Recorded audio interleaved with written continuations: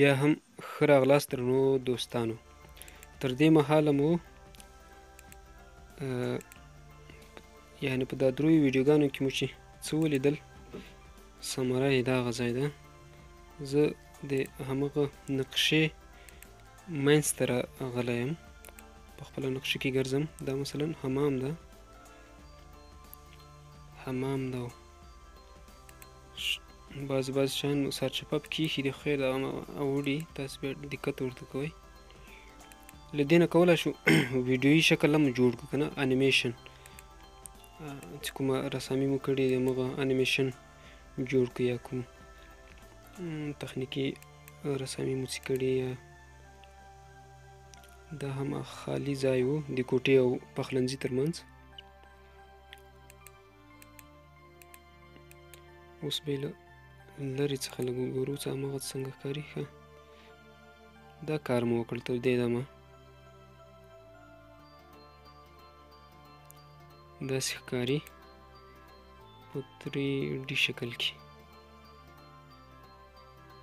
د نقشې رسمولو ځای پورته دی دا هغه مې لږ راغټ کړ چې کله پروګرام تاسو کاروئ د هر څه د دې اسانتیا او هر څه تاسو ته بیا پته لګېږي ډېر اسانه ده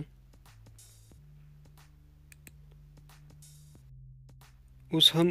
راځو د دوهم پوړ رسمولو ته دوهم پوړ ته څنګه دا زه پلان وایو او اډ لیول ته راځو کله مو چې اډ لیول وواهه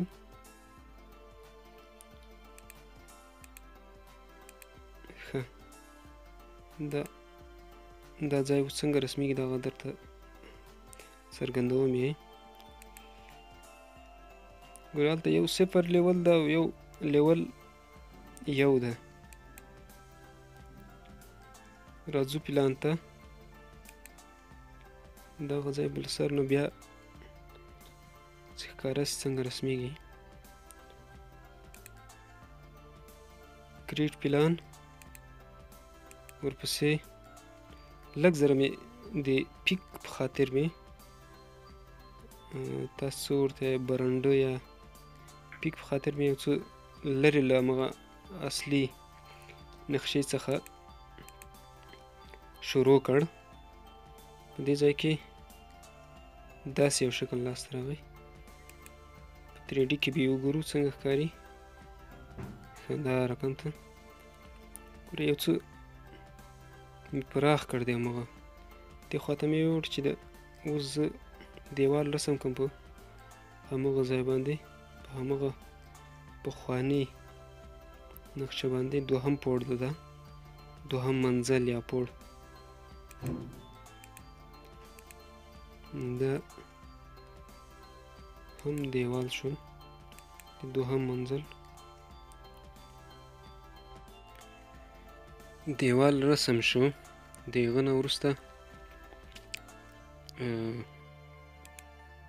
دا هم د منځ دیوال په لاندې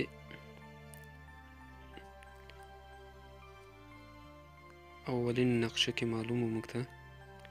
دا هم راوړم ورته هملته یې ورسره برابروو ګورئ په 3D شکل کې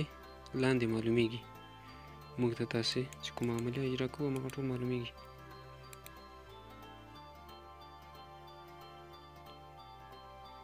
ښه داسې به مناسب وي فکر کوم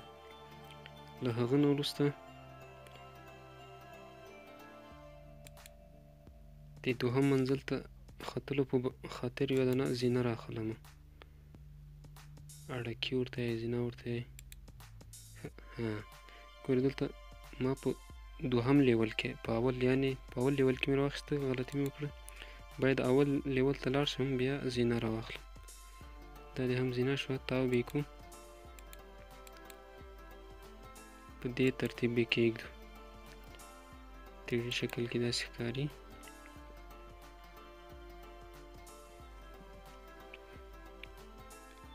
یو څه به پراخ کو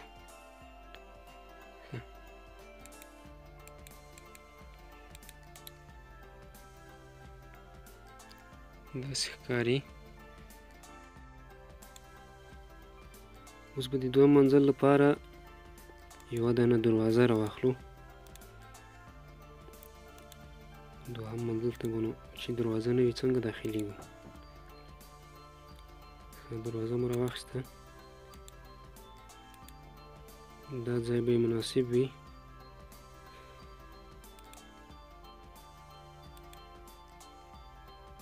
کوم شکل نه واخلو بیا هم یادونه وکړم چې دلته کوم شکل یا ډول ډیزاین مې نه خوښېده کولای سئ په له انټرنیټ څخه را ډاونلوډ هم کړئ د دغه بیخي ډېر شکلونه دي په انلاین ډول بیخي زیات دي په دې ډول ښکاري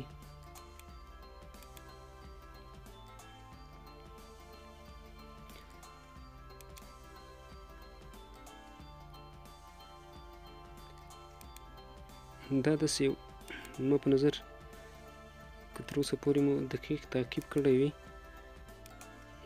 ستې اسانه کارونه دي ما په نظر غواړم چې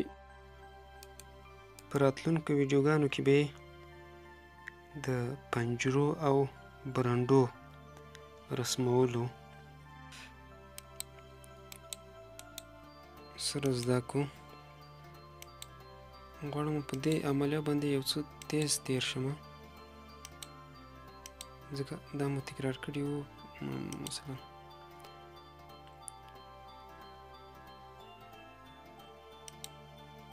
ورسۍ څنګه رسمیږي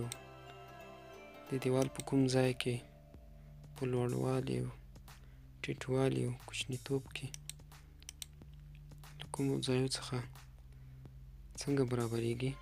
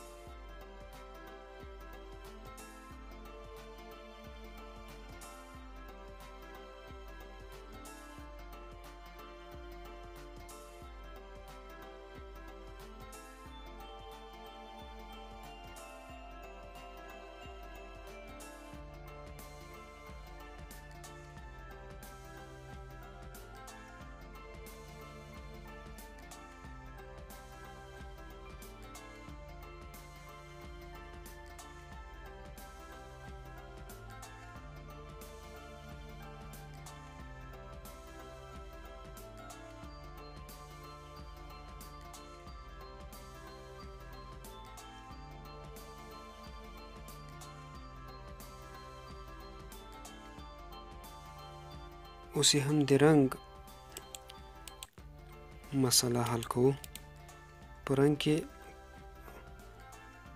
په مغه خط چې غواړو رنګ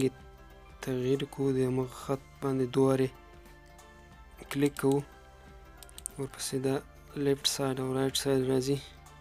چې یو د کور دننه خوا ده یو د بهر خوا ده د همغو رنګ بدلولی شو مثلا ما د زړو خښتو رنګ ورته انتخاب کړی دلته ټول کور دا رقم ته اچولی ده مثلا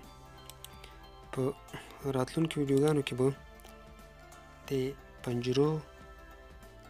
برنډې